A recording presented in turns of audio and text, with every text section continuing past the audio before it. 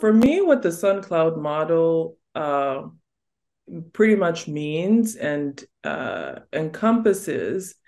is an approach to you know the, these various conditions that you know we as human beings struggle with addiction eating disorders um, you know mood anxiety personality struggles uh, psychiatric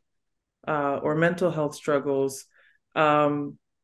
really looking at these entities as co-occurring which they are co-occurring because they are uh, very intimately related to one another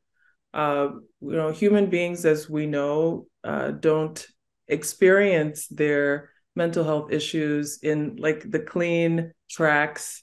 uh, and boxes that we see w- that we describe them in, or like we describe them in in the DSM. Um,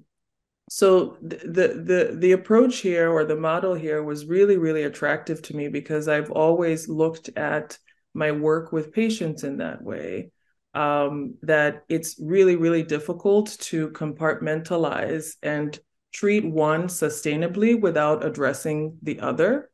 Um, and because I got into this um, based on my interest in really helping people find lasting change and create sustainable change, um, this model of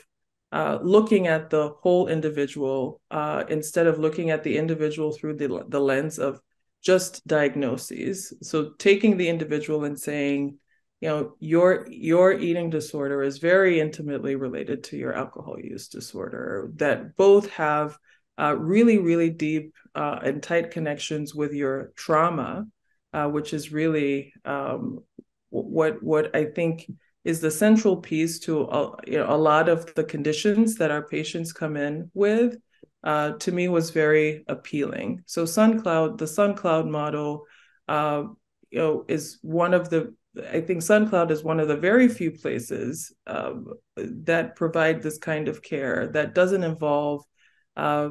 placing patients in tracks according to diagnoses, um, understanding the connection between all of these uh, types of struggles and trying to uh, help patients to address the ones that uh, are the most impairing together using uh, various kinds of modalities, um, not just medication, and particularly including uh, trauma work, which tends to, I think, be one of the uh, most attractive pieces of treatment here for a lot of patients.